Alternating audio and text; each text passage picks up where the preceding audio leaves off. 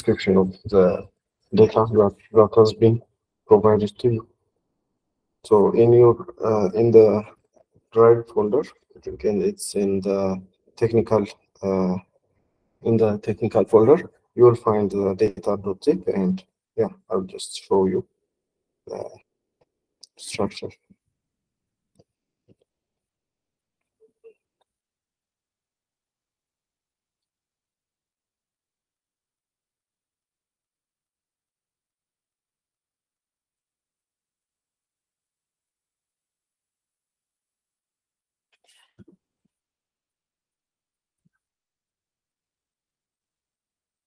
Okay, so uh,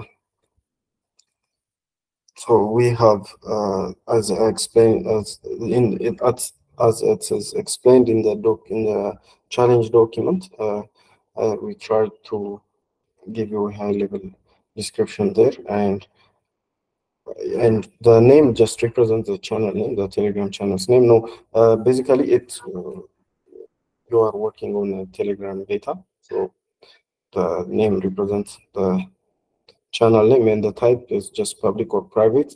For now, we are just we just provided you with uh, uh, public. All the all the channels are public, so uh, all the type will be public. And in the message part, uh, let me quickly show you uh, the data that has. It will take a while, but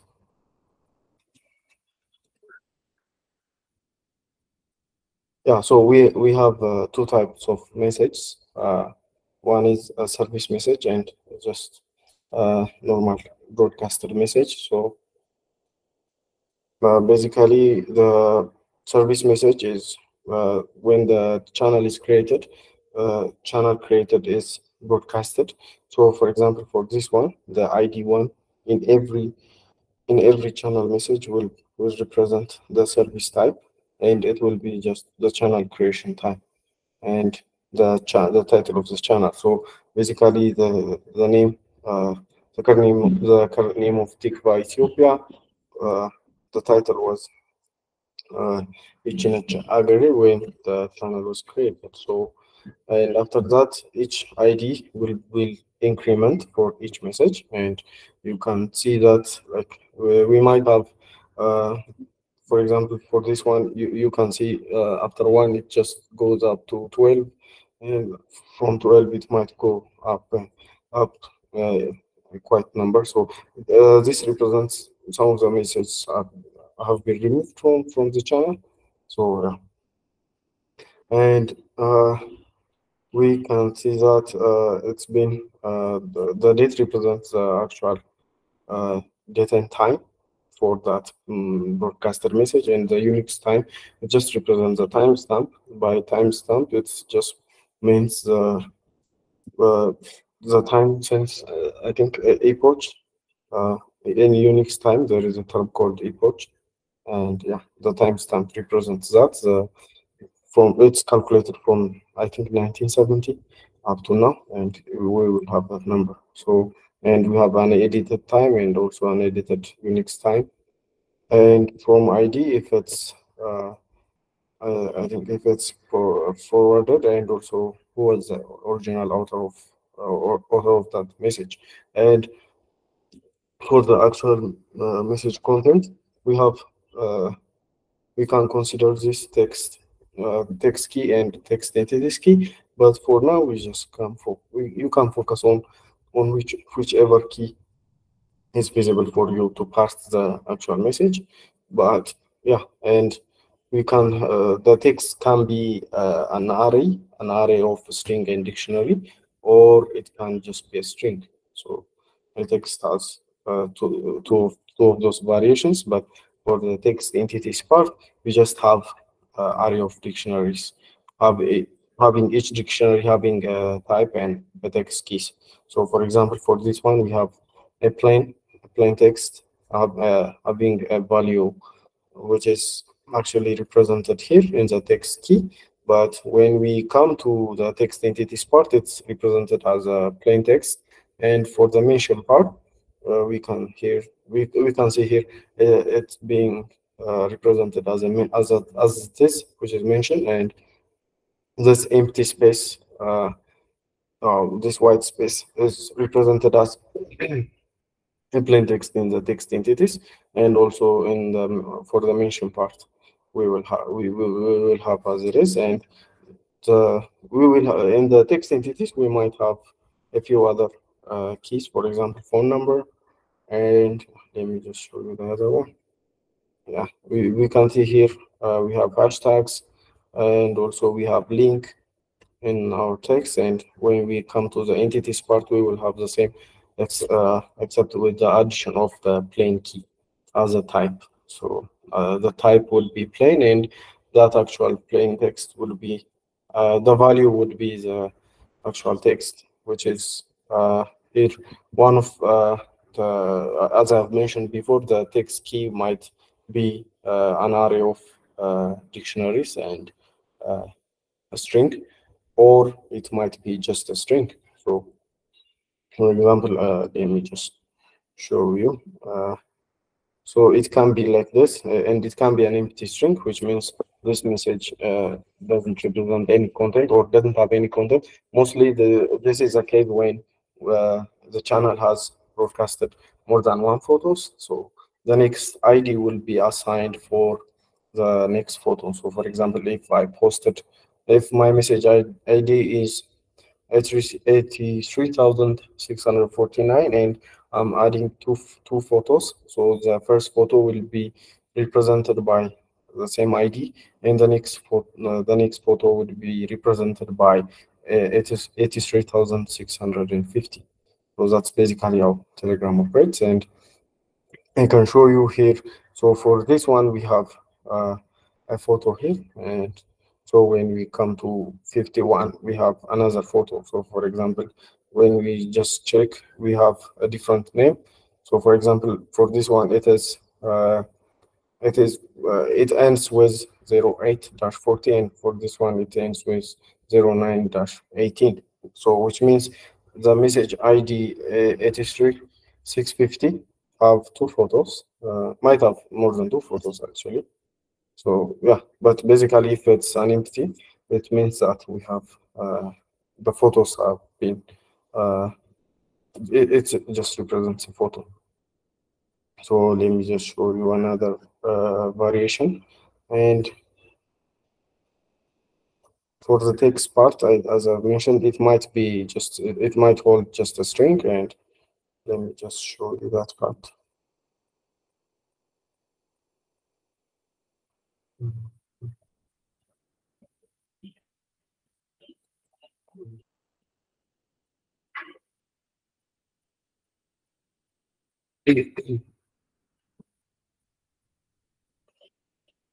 Yeah, which means like if it's uh, only a text or, or if it's only a string, that means that it doesn't have any hashtag or any the, the only entity that that message has is it's just uh, plain text. So by it just means uh, that message holds a plain text, and if it if it holds other than a plain text, it will have uh, it will be constituted uh, it will be represented as an array, an array of uh, combination of string and dictionaries. And yeah, let's just uh, and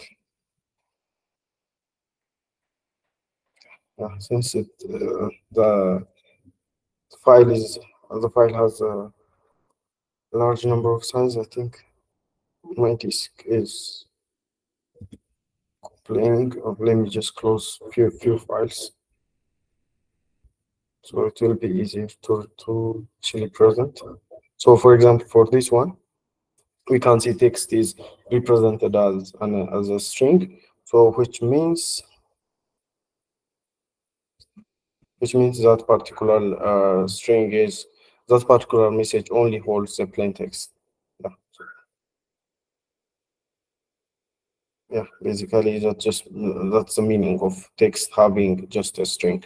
And if it's an array, as I've mentioned, it's, it's it means it's a combination of uh, few entities like hashtag, phone numbers, mentions, and links. Yeah.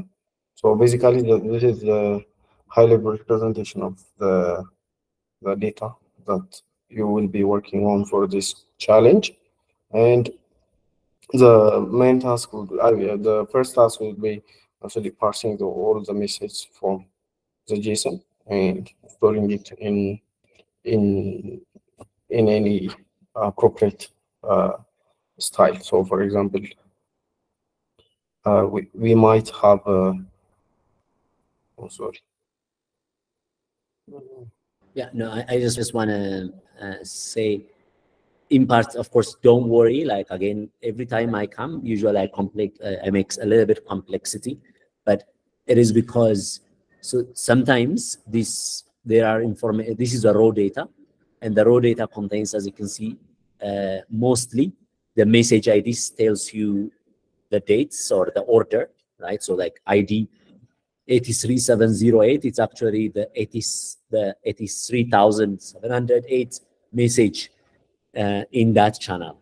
So which allows you sometimes, and then there is also a reply, like so there's edited, not edited. I think there is a one place where it's called reply uh, to a certain message.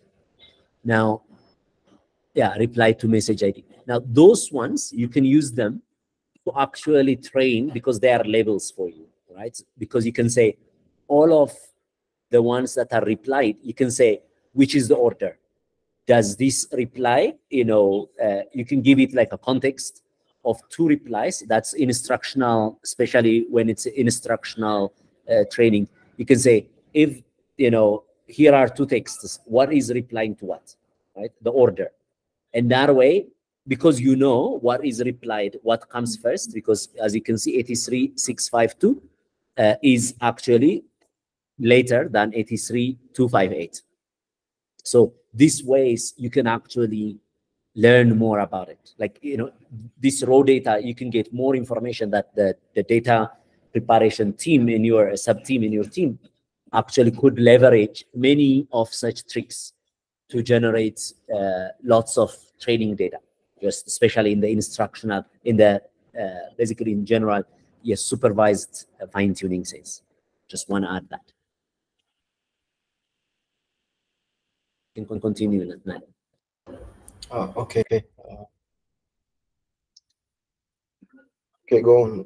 Uh, okay, uh, uh, so I have a question regarding uh, the contents that don't have um, the text, uh, the text uh, content. So, what's the point of adding such uh, such a data to our database since it doesn't have a text content? Shouldn't we just be discarding it? Uh, for this part, as I explained, if it's an empty, it means like it it either have uh, a photo. So, for example, uh, when you are using Telegram, you can send more than one photos, or if you are broadcasting on a channel, you can yes yes but uh, add more than one photos. So that actually yeah, that yeah I understand why they, they are empty, but would it be of any help for this project? Like, shouldn't we be discarding them? Uh, you, you just for for this part you you you need to use the text part. So if it, if it if it doesn't have any text, it, it, it is no use for us for for our context and for our business need. All right. You All can right. discard it while you are parsing. So okay. while you parse, you just uh, use those uh, text and also if it has a reply thread or if it's if it if that particular message has a thread, just somehow uh, create a link between those messages. But other than that, you just use the discard the text if it's an empty one. All right. All right. Thank you. Okay. And okay, so any have anybody has any questions about the structure of the data? Oh, uh, uh, yeah, I'll be moving on to the tokenization part. So, excuse me, sorry. Can you hear me? Yeah, I can hear you. Uh, maybe if you could make it clear on the uh, when it's plain and when it's an array. Okay. Uh, so if it's a plain, uh, it means that uh, if it's also let me just start over. So text will have uh, will have uh, an we might be an array, might be a string. So when you are actually checking the type, you might get an array and you might get a string. So by string, I mean it might be an empty an empty string or an, a string that contains some message. So for this part, it so you while you parse, you check if it's a string. So it is empty or not. If it's empty, you discard it, or you just skip to the next mess to the next uh, the next item in the array. And if it's an array, you pass through the array by just checking if it's a dictionary or if it's uh, a string. So if it's a string in the text key, if it's a string, it means that it's a, a plain text. So let me show you. So for example, uh, we are parsing this particular array, which means we have uh, two objects or two dictionaries and two strings. So while you are parsing, the first one you would, you would get the first item would be uh, a dictionary. So you parse the text from that dictionary. So which means uh, hashtag the hashtag part, which is hashtag NEBE, comes from the comes before the actual text. So which is the, our while we are parsing, the next item would be this type this item with a type of string. So those that string will be treated as a plain text or a, uh, just a message. We don't we don't need to actually treat it other uh, other than differently. But for mentions for hashtags, that is considered as a hashtag. So for example, in the UI, you will find that uh, mentions are uh, represented differently or hashtags are represented differently, which means while you are using Telegram, if it's if if uh, if there is an entity in the message, start which is a hashtag, if you click it, it automatically searches in that channel having the same hashtag. But if it's a mention, it will just uh, try to search or try to go to a user that have uh, that have uh, a username that is linked to that have is the same username uh, as the mention. So uh, that is, the UI treated it treat this differently. But if it's a plain text, it's just a plain text. It will just display it. So that's the main difference. And so while you are parsing, you just have to check if it's a string or if it's an array. And if it's an array, and while you are mm, looping through that array, you just have to check if it's uh, a dictionary. You will consider um, the text part for each dictionary. And while you are parsing, if you get a string, that means you just append that uh, to your uh, to your content. But that's uh, one approach. And the second approach would be to consider the text entities. So you can just loop through the text entities and you just uh, grab the text part and append it to your uh, your, your to your uh, message variable. So for example, you have a message variable which is an empty string for this particular uh, message, and while you're looping through the text entities part, you just you will it's guaranteed you will find uh, only dictionaries. So all uh, dictionaries having the two keys, which is uh, key type and key text, and you just consider the value for each dictionary, which is text. So if the value of the text means it's just part of that message, and if it's a plain, as I've mentioned, it's just some message that that that, that uh, won't be parsed or the any actions won't be treated differently. So yeah, is it clear? Uh, okay, yeah, thank you. Okay, uh, go on, Abdullah. Okay, so I'm back with another question. This time, like, should we uh, use the hashtag the mention? So basically, should we use any type of text that's inside the plain type? Like, should we be uh, adding those texts that don't have the type plain? Yeah, yeah, you should consider it. So, uh, if you, uh, so for example, you will find uh, for some messages, not all, but for some channels, an ad is represented uh, differently. For example, so you might find a message having a hashtag uh, of ad so you can parse an ad through that, or you can parse an ad in a, in, in some different way. But you should actually parse all of all of things or all things. So for example, if it's a phone number, you should also contain it in your message text in, in your message. Uh, and also if it's a hashtag, you should also contain it. So basically you might do uh, later on, you might fine tune or you might instru give uh, instruction based on hashtags or based on mentions. So the model would better understand what a, a hashtag is look, looks like uh, out of uh, main text. So for example, if I have a main text uh, of some sort and that means that main text have hashtag, I might fine tune it based on that based on that value. Yeah. So. Okay. Okay. Thank you.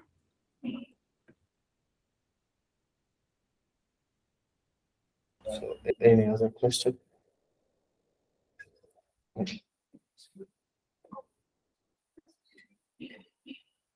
So I'll just uh, move on to the tokenization part.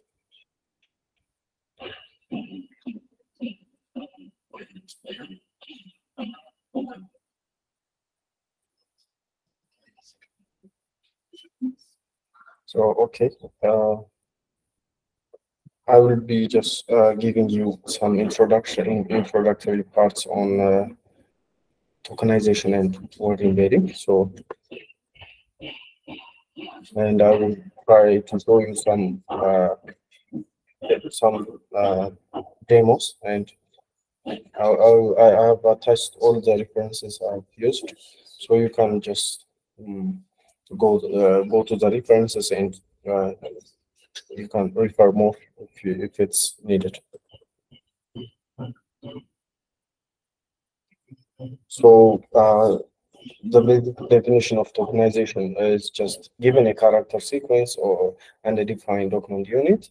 Tokenization is a task of chopping it up into pieces and called tokens. So, for example, uh, I, have the following text: so friends, Romans, countrymen, uh, lend me your lend me your ish. So, while we are tokenizing this, all the uh, all symbols would be will be discarded and the so friends Romans countrymen uh, lend, lend me you and x will be considered as tokens. So basically tokenization means just chopping the words into pieces uh, called tokens. So uh, we just throw away certain characters and such as punctuations. So we, won't consider punctuations and we just consider the words and we'll chop them into uh, into pieces called tokens. So we have two two types. So for example, a type is a class of all tokens con uh, containing the same character sequence, and the term is uh, a type that includes the information retrieval system systems uh, systems dictionary. So a token is an instance of sequence of characters in some particular document that are grouped together as a useful semantic unit for processing. So for example, if we for when while we create a, a tokenizer or when we are training a model for a tokenize for tokenization, uh, we will give it uh, our text our text data size would be uh, will be so big since we need uh, we need uh, a huge number of data to create uh, sufficient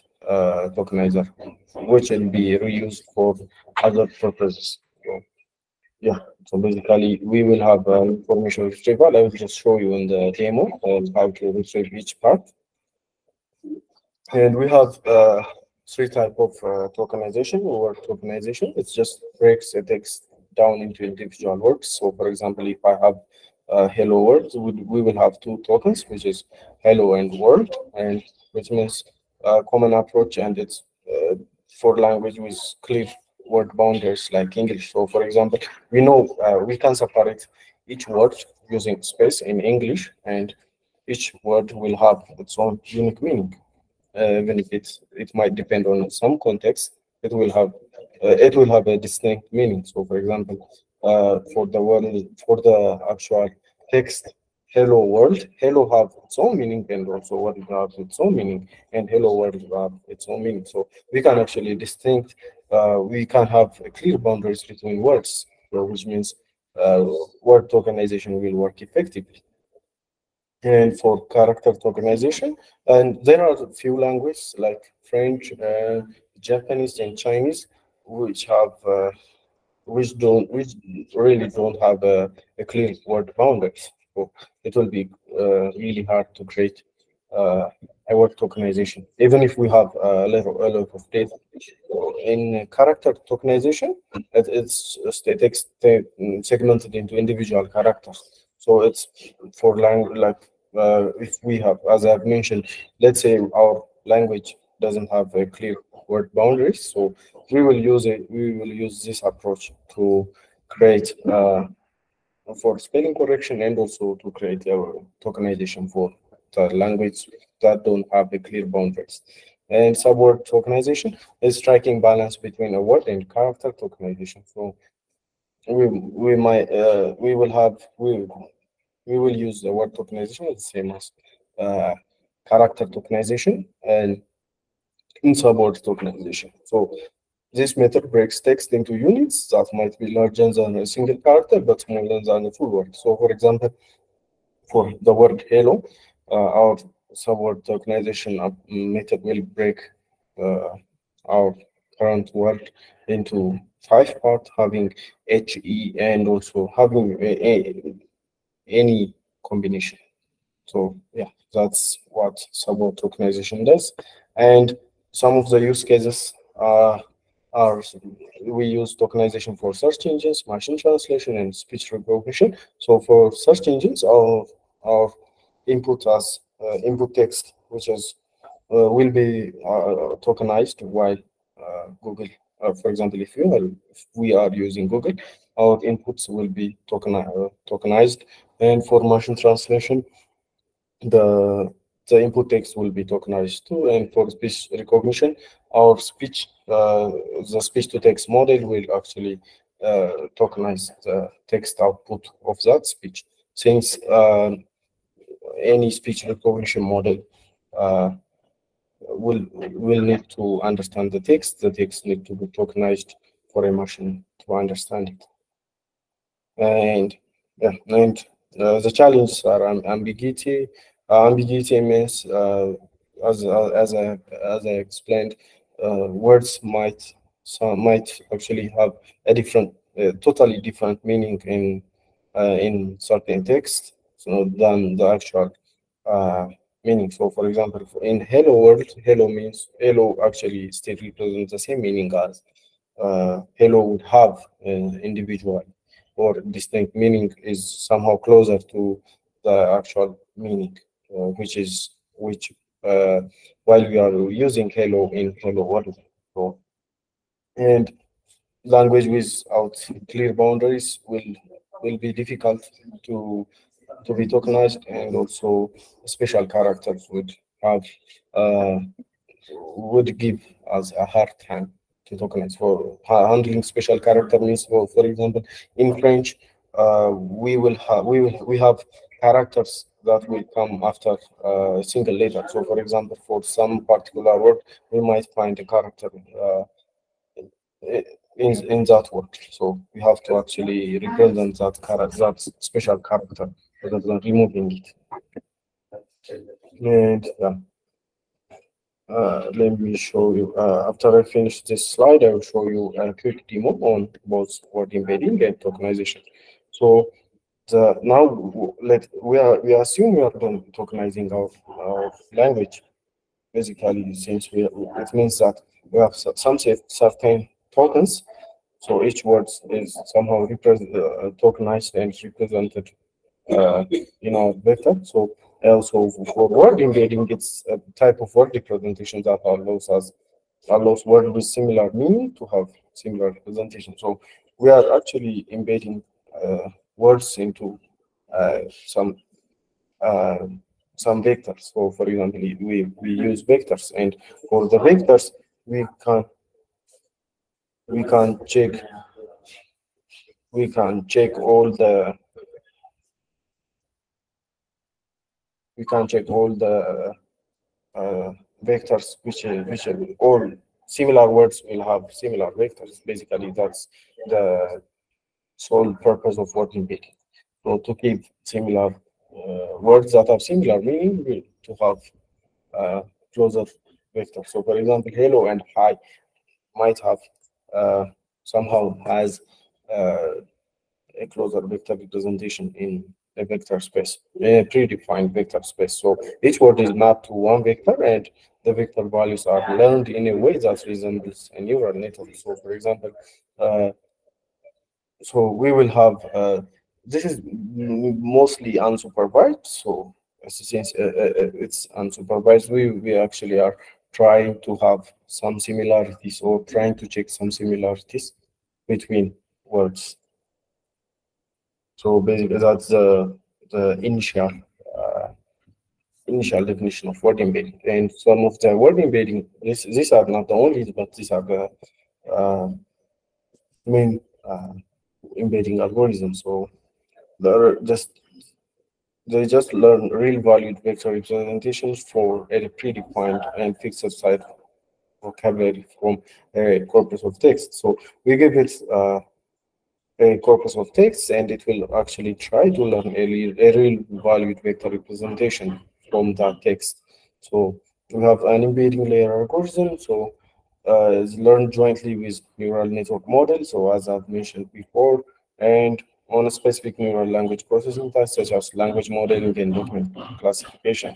And word to vector is a statistical method for efficiently learning a standalone word embedding uh, from uh, text corpus. So we have in word to vector, we have two types of uh, learning models. So the most common, the two common are continuous bag of words and continuous skip gram. So for continuous bag of words, the, uh, the algorithm tries to learn embedding by predicting the current word based on its context. So for example, if you have some word, we will try to predict uh, we will try to predict the current word based on the context. So, but for a script, uh, for a, uh, the skip gram model, uh, we learn by predicting the surrounding words given the current word. So, for example, if I have hello, I must predict, predict hello word or hello you or hello some some name. And this is basically the the, uh, the explanation in a visual term. So we have inputs and we we just try to predict based on context. We for WT represents the current word. So for continuous backward forward, we as as as we explained it earlier, we uh, we said uh, it learns by embedding by predicting the current word based on the context. So the context are WT minus two, T minus one, T plus two, T plus one, and T plus two. So this is basically a window. So if we are using some some windows, we will try to uh, predict. Uh, we always use those words in the window as a context and try to predict the current word. So for example, for in our case, uh, WT will be predicted from WT minus 2, T minus 1, T plus 1, and T plus 2. But in skip gram model, we actually try to predict the, the rest of the words based on our given the, uh, current word. Basically, this is um, some high-level description of just uh, how, what word embedding is, and I'll just show you a simple tokenization using an Amharic, an Amharic uh, text corpus, and I'll show you some simple uh, word embedding using some uh, few Amharic texts. I'll just uh, proceed to the demo. But before that, if anybody has any question, uh.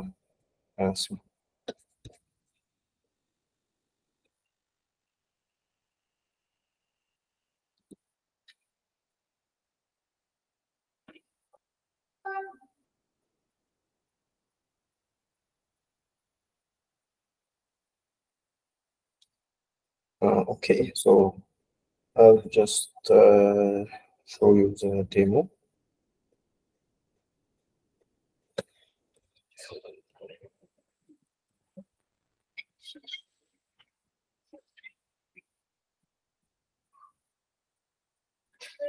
So uh, I'm using sentence piece Python module. So uh, we you can use any any any approach you like to tokenize. But basically, uh, you might uh, you might uh, you might you might use a simple space-based tokenizer, and also you might use BERT uh, by fine-tuning BERT for uh, for your text corpus, and uh, also we, you can train a sentence piece model. So sentence piece model um, is somehow easier to easier to train and it's somehow faster. So uh, I will just demo that and I, have attached um, all the references in the slide. So at the end of the slide, you will you have all the references that that are that are essential for word embedding and tokenization. So you can uh, you can use that for further uh, for further reading. So so we start by uh, I'm I'm I'm just loading uh, Tikvah. So Tikvah is the Telegram channel having over 1.2 million subscribers, and I just uh, chopped the half. Uh, I just did the first half of the Tikvah, and you will find the Tikva.json file in your uh, in your data directory in your data.zip file. Uh, so you can extract all the text the text message from that. Uh, you you have to clean. So while you are pre-processing, it is listed in the document what steps you should follow, and you might add some other things. But uh, remember not to be limited on those steps. So for example, uh, let's say we uh, you might find some uh, some characters or some symbols in the text. So you you should just uh, just don't be limited on the on the instructions given on the data on the challenge document. So for example, for this one, uh, it's just uh, the embassy of uh, uh, uh this one is translated uh, to English as the embassy of America in Addis Ababa, and yeah, so we use model prefixes M and vocab size will use we will use uh, 2000 and we will uh, actually ch check how uh, the, the token values for each uh, for each value. So for example after training uh, we can see that uh, this this word having 460 so it it is represented as 460 from from our vocabulary size. So it, will, it is represented in 460 and uh, this one, which is Ababa, is represented as once uh, 133 and the America is represented as 774 and embassy is represented as uh, 1276. So uh, in Amharic, there are few types of, there are few issues. So Uh, okay, uh, go. Okay, Nathan, I, I would like to ask you, why do we, why each token uh, has been represented uh, with, uh, within a single number, a unique number? So that's the basic idea of tokenization.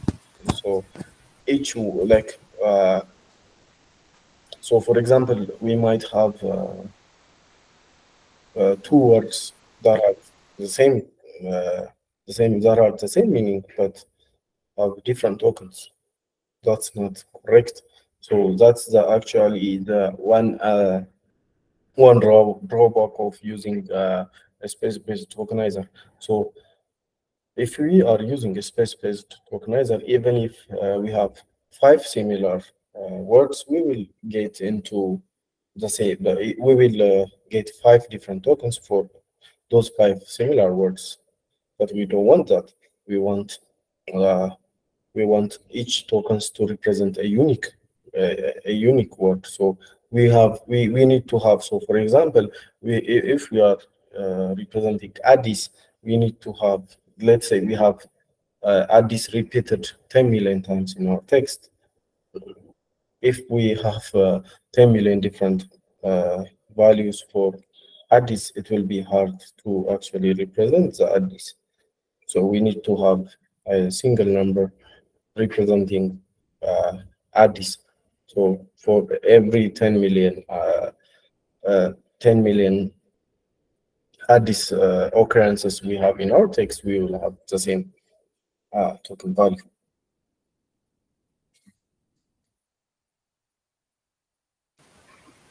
Is that Okay. clear? Okay. Okay. So, Now, uh, uh, another question is to know. Can, can I go? yeah, you go. Okay. Um, for the. Ah, sorry. I, I will let Aaron go again. Uh, I will Okay. come. I come back with my question. Okay. Hello, I think I'm audible. Am I Yeah, audible? Yeah, you're audible.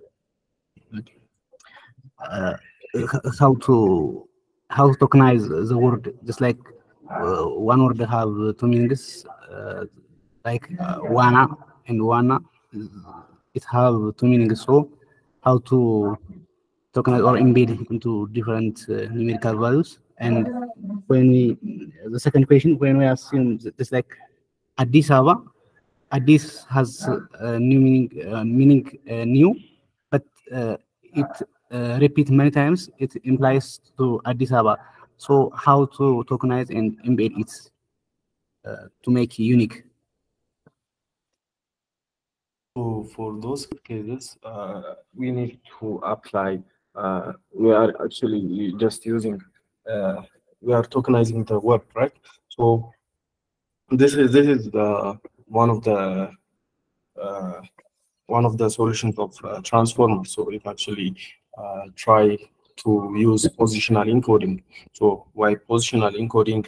It means that the position also has a factor in the encoding. So for example, as you mentioned, uh, for one masrabit, uh, which is translated roughly for in, English uh, headquarter or the main office, and one one and also uh, for swimming part we have the same word which is one one. Yeah, so the actual position would be applied. So you will you will uh, so this is one of the breakthroughs that comes from uh, transformers. So transformers actually use all the uh, positional encoding other than uh, the other em embedding layers. So for example, if we are embedding the words, just the words, uh, we might have uh, two two similar words which have uh, an, a different meaning in two different sentences. So we need to actually represent those as well. So for those scenarios, we use uh, positional encoding, which is actually uh, including and also considering all the considering all the uh, positions in in a certain text.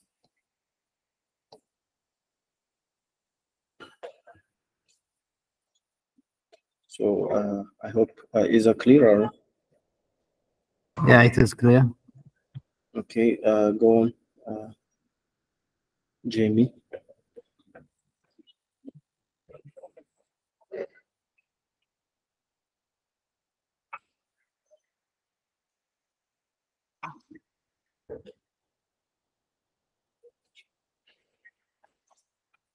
Uh, Jamie can go. Yeah, Can I go first? yeah, go. first. Okay. So uh, for your earlier explanation, if I understand very well, uh, according to the position for a given word, if that word maybe is a is represented uh, in a given sentence many times, according to the position, the positional encoding, uh, the the architecture will learn the different will embed differently these words and uh, can understand uh, and then can understand uh, the different meaning by uh, by by vectorizing. Yeah. uh, okay, good. Now, apart apart from that, uh, I would like to know uh, if with a with a, a transformer architecture, do we remove the punctuation after uh, after tokenize our sentence of uh, our data basically do we remove the the punctuation and stop words uh do we keep everything like that mm. so uh, we we use uh, so the common it depends on the language actually. For english uh, while you are just creating bag of words uh, you have to remove stop words. But to understand the context and to understand the meaning you need to consider that those as well. So for example for uh, transformers in case of transformers even every word and every punctuation represents uh, something or it does uh, have a, a, distinct, a distinct meaning. So we will consider it while using transformers. But for a simple word embedding algorithm, we might remove it or we might discard it since we just want to learn the similarity between words. So for example, in word embedding, we, we are looking for similar words. And if we are actually embedding uh, we are using the sentence level embedding. So, which is positional encoding would be applied and we are actually trying to find uh, two similar sentences other than two similar words. So in a sentence, bag of words are important. So uh, basically, we will use it. It depends on our use case, but we will use it.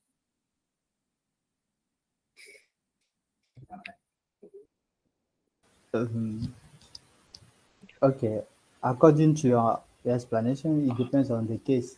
Uh, for instance, yeah. in our in our case here, uh, me, for instance, I don't know Amharic, uh, Amharic okay. language. Yes. Uh, will do do we consider removing the the punctuation after tokenizing our data or do we keep it?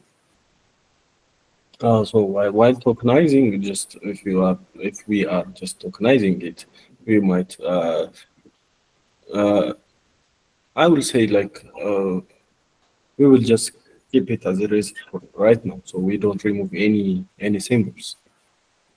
Okay, so, that's good. So,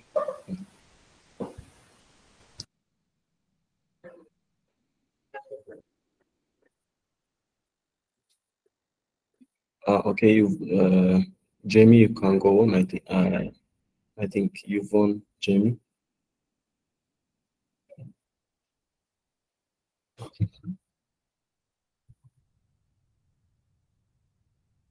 Sorry, sorry, it was a mistake. Sorry. Ah, okay. Sorry, I have a problem with this button. I'm really sorry. It's it's a mistake. Okay.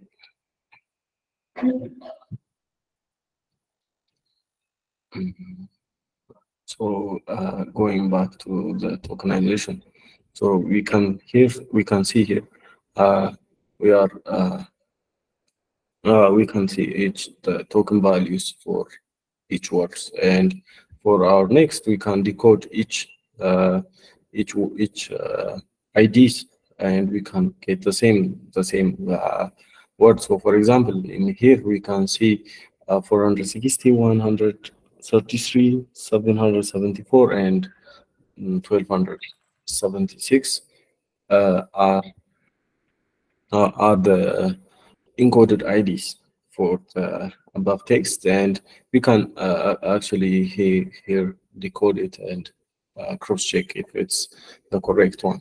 So we can uh, get piece size will return the vocabulary size. Uh, and if you remember, we uh, we we instantiated the vocab size for for it to be 2000, and we uh, we just get the same value here, and we can uh, I we can uh, in, encode one ID to piece. So for example, for while uh, while decoding, uh, we can pass array of string, I mean array of IDs, but um, for this case, we can actually uh, uh, we can actually check ID to piece conversion. So the piece represents the actual word and the ID represents the the token value. So for example, for this one, ID, ID to piece represents. So for example, we are trying to uh, fetch the value from ID 460 and we are trying to fetch the ID from piece for the second one and we will actually we, have, we actually get uh, 460 for for Addis and for Addis for 460 and uh, so uh, while we are uh, there are two symbols uh, we will uh, we will see them later but there are two symbols so control symbols and these are defined symbols and the control symbols are uh, uh, unknown uh, so the IDs 0 1 2 are are restricted for the unknown symbol s and closing the s tag respectively. So we can actually see here the unknown. So the is control is just checks if that uh, ID is a, a, control symbol or not, and uh, we can actually check which uh, symbols are controlled or not.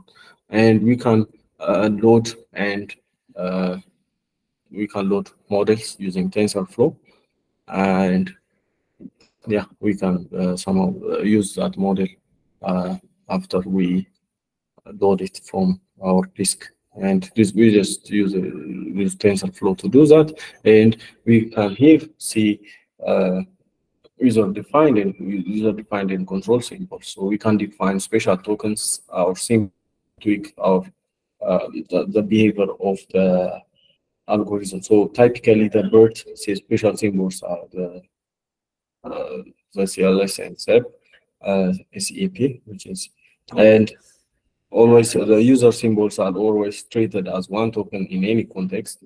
These symbols can appear in a in in the input sentence. So for control symbol, we only reserve IDs for this token. So as I've mentioned, all the IDs are reserved for the uh, for have a tag of S and in in in tag of S and those tokens up, up in the input keys, they are not handled as one token. So for, if we want uh, our tokens to be handled as one token, we use it as a user-defined symbol, uh, but uh, explicitly after encoding. So we, we need to actually uh, input it. So I will show you in the next example. So for this one, we are training and we are inputting our user-defined symbols, uh, which is uh, the BERT symbols, uh, and CLS. And so for the text, we can, uh, as I've mentioned before, these symbols can appear in a, in an in in the input sentence and come all always treated as one token. So they are not they, they are not going to be broken down. So if it's a user-defined symbol, as you can see here, for uh, while while encoding it as pieces, uh, is treating each user-defined symbol as uh, as a token rather than uh, some string. But for control one, you can here see uh, our token uh, in our token or in our vocabulary. These three words are included, which is Addis Ababa, yeah, America is included, and embassy is also included in our vocabulary. But these uh, symbols are not included. But if we are defining as, them as a control symbol, they are they will they won't be treated as uh, a unique a unique symbol or a unique token. So it will actually try to encode it uh, individually. But for this one, we can actually see it uh, the user defined symbols being uh, encoded uh, as uh, encoded as as it is as it is as in as, as we as we represented it. And for this one uh, and for this one we can actually use uh, so s and the in tag is are defined as control symbols but we can define it as a user defined symbol which would be uh, which will uh, in turn will be treated as uh, a different uh, a different token or it will be treated as a, uh, a unique token. So for example, uh, so uh, we our model prefix is a mbos as user. So and we are uh, but we are loading for uh, demonstration purpose. We are loading the previous model. So the previous model is just m dot model. Our initial our uh, initial model is m dot model. So in that model we didn't define any control symbols and so I mean uh, S and uh, int tag of S is defined as a control symbol as a, by default. But if we change it uh, to, to as a defined symbol, we can see the difference here. And in the difference, we can check, uh, we can see uh, how each character is treated. So for this one, it is treated as uh, it is it is treated as uh, differently. Uh, so which means uh, it will be treated as a distinct uh, token. And yeah, so we have uh, beginning of sentence, end of sentence, uh, and part symbol. So for the part symbol, so unknown, UNK means unknown, and beginning of a string is just beginning of a string and we can here see so let's say uh, we have a beginning of uh, a string id as one and beginning end of a string as id four. I mean as id two. But for this word while we are encoding it we can actually see how uh, how it is uh, so if it's a beginning of a string we have one and we have uh, end of string as two and all the all the other list of uh, encoded values for these two words. And for the padding, padding means, uh, for example, we are uh, we have uh, a token size of eight, and our word a token size of eight means we are expecting eight words, but the input is five words. So to actually accommodate the registry, we use the pad symbol. So we will use it uh, to accommodate the rest the rest part. And to just uh, sampling and, and best segment and best segmentation for subword regular, regularization, uh, you can uh, I've attached the whole uh, this is from sentence piece uh, repo, so you can actually go there and uh, read more references. And for that, for that we can actually check uh, how it is treated. So, for example, uh, for our n-best, the our Addis Ababa will have uh, the Addis, and yeah, and the next word will have uh, will be splitted, and also uh, we will actually uh, check the thing, the theme, the theme based. Uh, the theme based segmentation. So for it's just how to segment how to break our input. And we can actually check all the encoded values of for each uh, for each value. So for example uh, this word is actually encoded as 8 and the uh, this one which is uh, translated to d is uh, encoded as 1066 so this is how we use it how, how we check 10 based n-best segmentation. So this is just uh, this is just uh, our n. This this 10 represents n. And uh, our next part would be uh, we can just also check here uh, how to uh, encode and check uh, n-best pieces. And for the next part, we will see byte pair encoding and sentence piece supports byte pair encoding for sub subword segmentation as a showed you here. And uh, if we can just uh, use model type flag as uh, MBPE, I mean BPE, to to let the train function know we are using it as a byte pair encoding. So we can check how it uh, treats how it how uh, encodes pieces, but we can actually check the, the difference between byte pair encoding and unigram model. But in the unigram model, we can perform sampling and n-best segmentation. and we can actually use it uh, for subword regularization. And by that, we can actually here see uh, we we don't, we don't really have uh, any best encode, encoded as pieces for this word, but for this word we can actually uh, see uh, the um, the model actually trying to encode each pieces and each characters and for the next one, but if it's a unigram model, as, as it is explained here, unigram model can perform sampling and N-best segmentation. So if we, we can actually check, uh, it's uh, trying to find uh, every possible uh, segmentation. So for example, we have, we can here see the each word being actually segmented. And uh, yeah, and uh, America is not not being segmented, but we can actually see uh, if it's a model is a unigram, we can actually segment it. And yeah, we you can move on and like go on and explore more. Uh, the, the, this notebook has uh, uh, vast implementation for uh, for tokenization, and yeah, we can actually check. And since we have a limited time, I'll just move on to the word embedding and uh, we will have a Q, a Q and at the end. I'll just show you a simple uh, uh, word embedding approach, which is just word to vector for Amharic.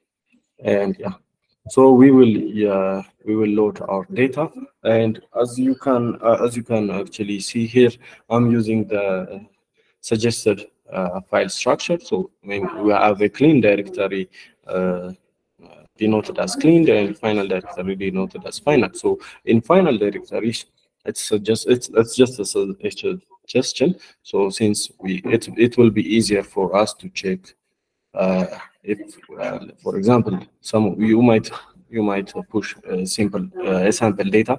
You you won't push the whole data uh, into Git, but for us it would be efficient to check.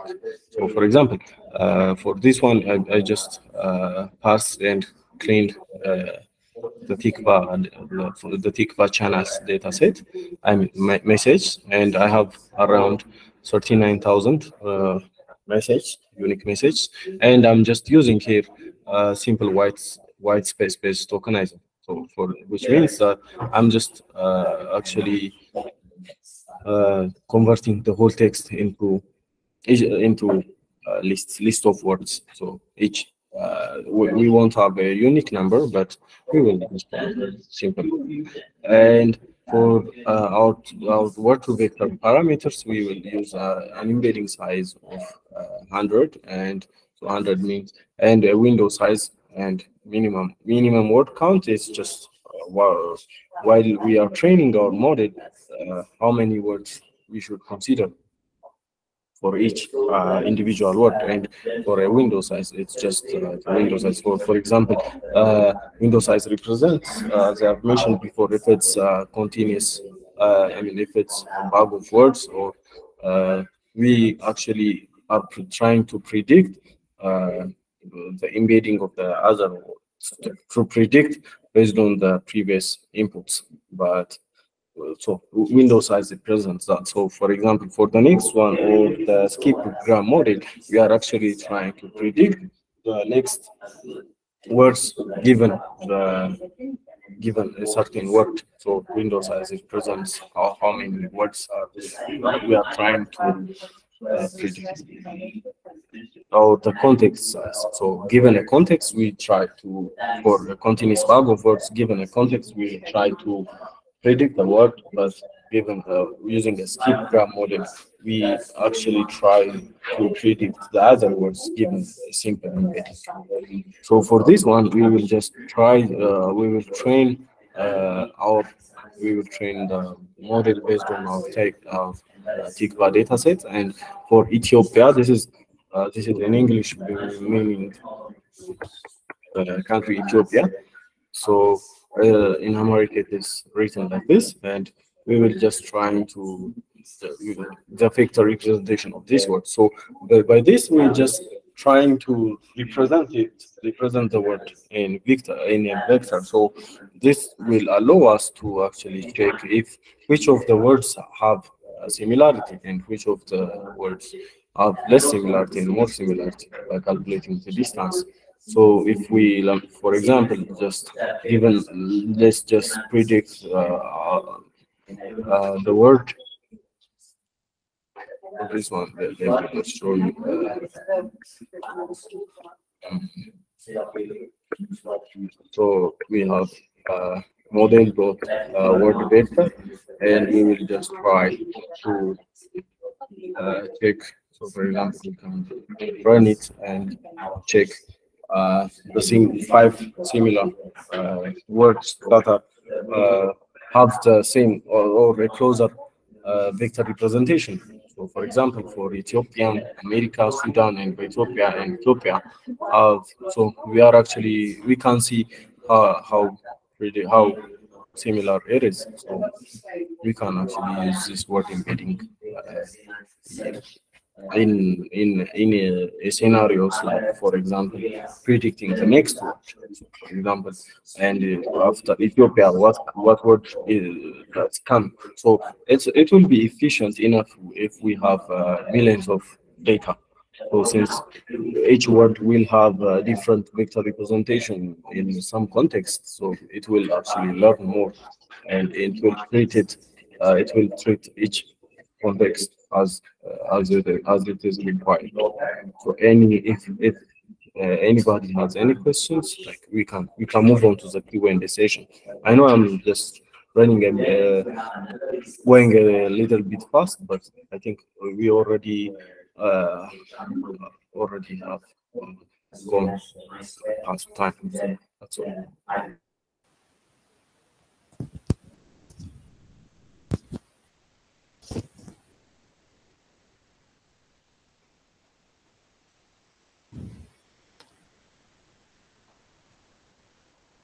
Uh, Rudolph, you can go on. Okay. Uh, thank you, Nathanael, for your nice presentation. Um, before you you, you started uh, tokenizing and uh, embedding, I would like to know the the format of your data because I didn't see at the beginning. So I, I, I would like to know if it was the, G, the JSON that uh, Okay. you just use or if you have converted in, in CSV or, Uh, I or So I just converted the, the JSON to CSV. I just extracted all the text part as a, I think uh, in the in the JSON part we can see the text entities and the text uh, keys. So uh, using that, I just extracted all the text in a tikva.json file and used that as an input. I've used uh, Okay. all the uh, listed instructions in the challenge document. So while you uh, steps you should follow while you are cleaning. So for example, uh, like removing hashtags and removing links, removing symbols. So yeah, uh, I've followed those steps and I've used that. uh, okay okay. By the way can you can you show me can you show us uh, your process the process you have followed? I know uh, the, the the challenge document is there to guide us but can can you show us what you have done i can Uh, okay, uh, okay. Uh, you can follow my approach. Also, you can do it. Uh, uh, you can do it uh, in a, in a way that you want. But let me show you the approach I've used. And so, for example, uh, I have in, in the directories. You can see in the, the data directory. I have uh, in the data directory. I have uh, row uh, the clean, final, parsed, and row. So the row part that represents the JSON that that has been provided to you. So the first thing uh, I I, I- I just have implemented is let me just show you the parser part. So while parsing, I've just used uh, this parse message uh, function just uh, try to parse uh, so try to pass all, all the message arrays so this message represent a list as you can see here. And it's each message so for example if it's if it's uh, if it's not uh, as uh, I've mentioned earlier we have two types uh, type type of message. One is uh, uh, system message and one is just just message. So if it's a different from message I'll skip. And length length of message text is equal to zero meaning we don't really have anything on the text so since I'm I'm interested in the text part I just continue if it's anything. But if not, I will just uh, part the extract the ID. So for example, I'm just parsing, let, let's say I'm parsing through this one. So for message, the first the first one would be a type of dict, right? So message slash type will be uh, would be or not for this one. Uh, I think it's for this one. So for this one, we have type, right? So for this one, we have type. If it's message, we will continue and we have uh, text, which is length greater than zero. So we won't continue, we actually parse. So while we're parsing, we I will just append uh, the ID here and also the message content. I will just call a function to parse this text. So I, I, I wrote a parser to parse this text and it will just, it's just check the instance. So if it's if it's a string, so which mean it means that we are just having we, we just have a plain message on that one. So I'll just return text and message of uh, this text would have will be appended as message content. And for the message content, uh, I will for this content you can here see if it's an array, for example. If it's an array, I need to actually go on and uh, extract all the all these values for this one and also for uh, for the mention and also for the plain message I need to extract it. So I will just loop through each array. So if it's an array I will just loop through it. So I'm I'm currently looking through this and I'm just checking if it's a string. So it's not a string right? It's a dictionary. So if it's a dictionary I will just append to this context. I mean for to this content the of the value uh, that is represented by the key text. And I will I will repeat the same. So on our next next iteration I'm checking if it's a string. And if it's a string I will just simply append it and if it's a dictionary I will just uh, extract the value in the key text uh, and I'll repeat the process until the array is um, uh, is finished and also I've I've looked through all the contents, all the items, and I'll just join. I'll just join the list and return it. And uh, if it's not the case, if if it's is about the case, I'll just return an empty, an empty string. So that's how I parsed. And for the cleaning part, I've used, I've just applied all the all the rules extracting emojis and so for example for this one uh, we have uh, unicode you can uh, i can let me just drop uh, this unicode uh, values for you guys to use so,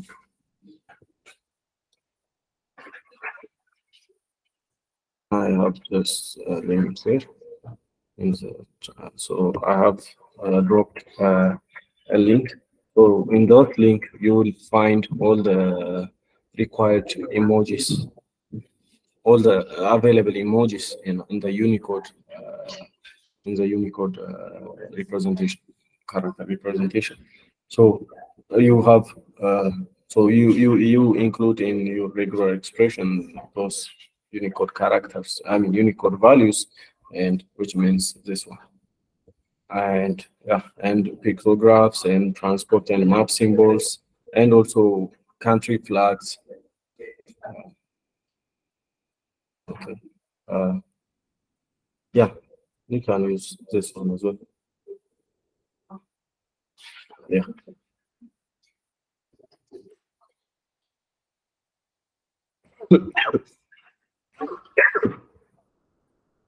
and after that, and also if you want to remove any symbols, you can use it. And this is, uh, I'll just drop uh, this regular expressions for you to apply.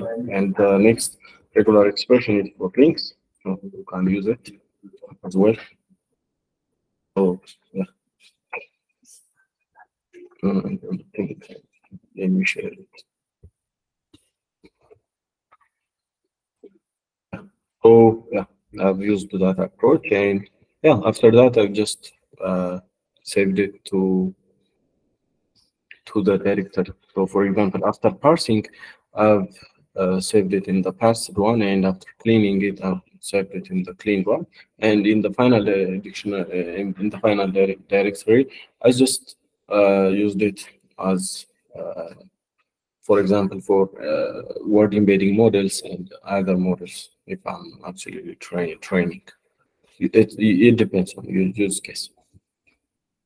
So yeah, I hope I answered that uh, efficiently.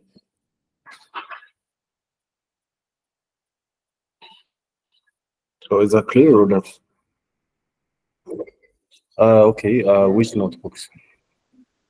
Abraham, which notebooks? The one with, the uh, tokenizing and uh, embedding. Yeah, for, for the tokenization part, uh, I'll show the embedding part, but for the tokenization part, as I've mentioned, you, you will find it on the sentence piece uh, GitHub repo, and I also attached it as a reference in the uh, in the slide. So at the end of the slide, you will find several references. So the seventh reference, which is the sentence piece uh, in the master branch, you will find the example I've just demonstrated. But for the embedding one, I'll just share it. It's just a simple word embedding model. If you search for it, you will find it. And uh, I've just modified the tokenization part. So if you if you want to use that, I'll just share the share the notebook.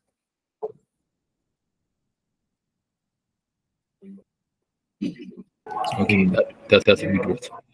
Okay.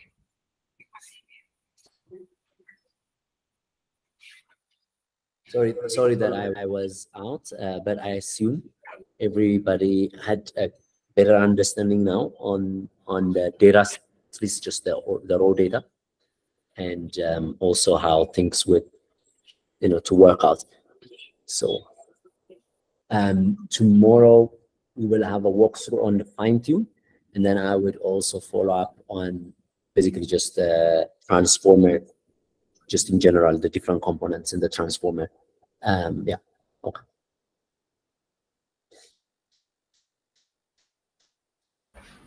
Uh, okay, uh, go on, Abraham. Okay, uh, on the last, uh, I I, I wanted to ask, what was what were those uh, underscores next to Addis Ababa, and uh, that came up. There were they were not there on the word, but after uh, you loaded them, they become they they were seen there. What what are those? The symbols. The underscore, specifically the underscore.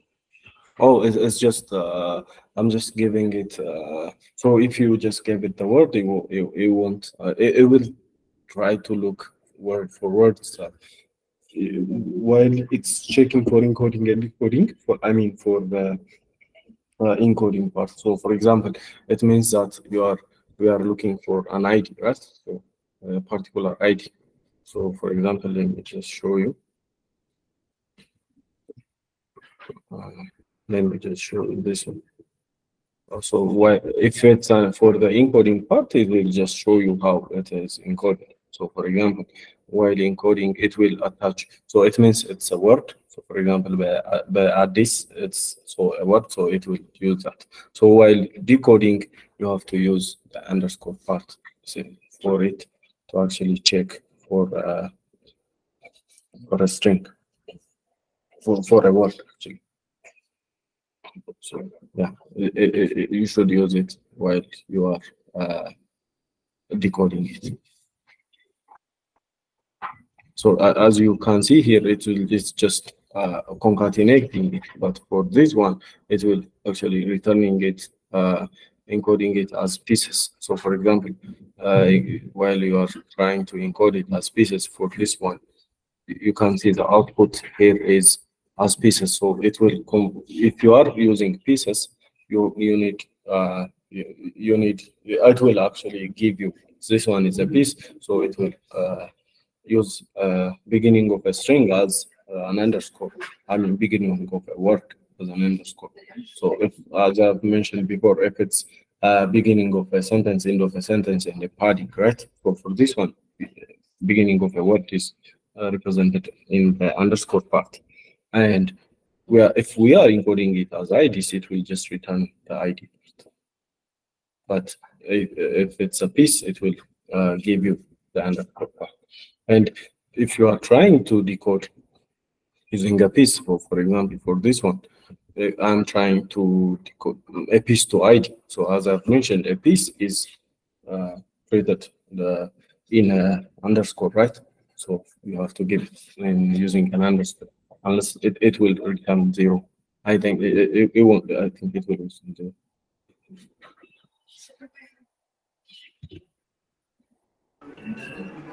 Thank you. Okay. Uh, yeah, yeah. Okay, can go. And, and Nathaniel, uh, thank you. Uh, so the data cleaning uh, in the document, it says we need to include uh, four features and we also add one more, which is uh, tagging or labeling the a message if it is uh, an ad or not. Uh, do we need to include the hashtags for our fine tuning and Oh. for sorry Okay. All right, go, go. You, you. yeah and for Yabi, uh, maybe a kind of housekeeping uh, we were supposed to get um, a sample data how to tag it and also divide the data uh, between different groups. Or are we going to uh, clean the data by ourselves? I mean within the group. Yeah, no, I- think the date, like the division, we say just you, you could, the, the formats, we, I know, like Nat Nile was also preparing for this and I was also in another meeting, but the, the format we're just basically provide now, like after this call. Uh, but the division of like which channels, which group is doing, I, I assume, I thought you would do it just the same as like you did for selecting the models and grouping each other.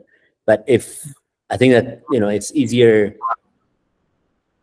Okay, let, let- I think yeah, if we don't provide it, it's easier. Just everyone just says like I'm I'm working on this on this channel, and I think that should be easy for everyone. If everyone just says that I I choose this channel, I choose this channel, then it's easier. Just writing it in the same place that you are writing um, for each group, like you know which model you are working. So in the same document, you can do that. okay Yeah. Yeah. and I think yeah, slightly a bit late for us to work on yeah to provide that one and uh, the compute. But and the future i mean the features are we going to include the hashtags I mean, uh, I- the I- main?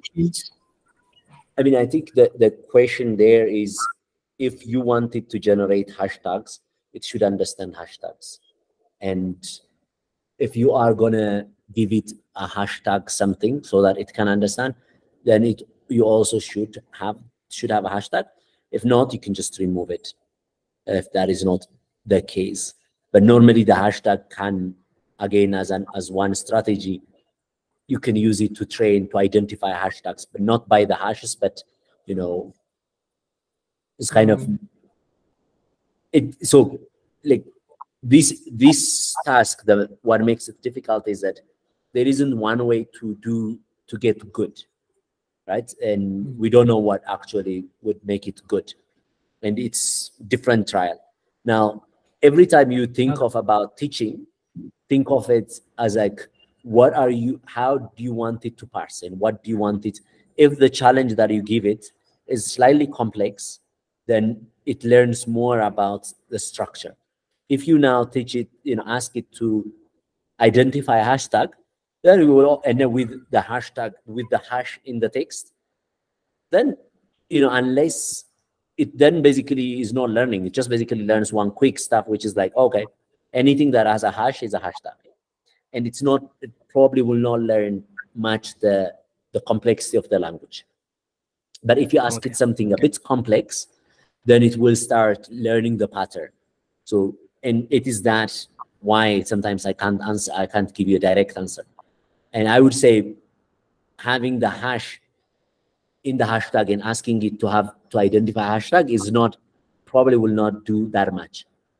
But if you actually remove the hashes and if you think there is a pattern in the hashtag, for example, hashtags, the content of a hashtag, for example, you know, no more or something, if it has, or me too, for example, if it is re relevant with the content and there is some connection, then asking it to learn those from the pattern from a text, lots of text that has that that word, but um, um, but and then also the relevant content, it might learn, might piece together what it means, you know, uh, me too, and, and in the in the process of that, it will learn um, the context of the language.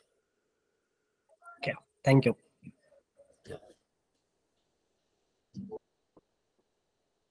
Uh, okay. Uh, go on, Rudolph. Oh, sorry, it was a mistake. I do not have any question now. Apart okay. from the fact that we we we want we, we wish you could share with us the code so that we can get inspired and build also us. Okay. Oh.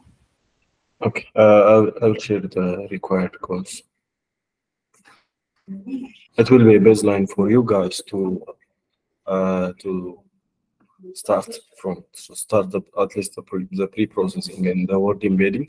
Uh, i will uh, i will actually add another course to use for n-grams and uh, for uh, another topic model maybe i will just start uh, n-grams. I will just share a, a basic course. And ID referring to the reply message including the so if, for that question uh, you can uh, as uh, Yabi mentioned earlier you can use it you can use it to actually create a context for that. So given that reply trade, the context might be different and if you are asking including that you will have a separate context so while you are using for the purpose, you can you can use you can add those as a as a context. And maybe Yabi can elaborate more on that. I think as I said uh, earlier, just it's almost about finding, you know, when you when you look the data, the raw data contains so much information. You know, the sequence itself is an information where it comes from is an information. That means which channel.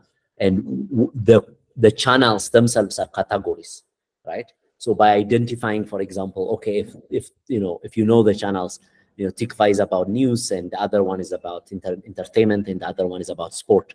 Now, knowing this gives you what most likely the, the talks are in that channel.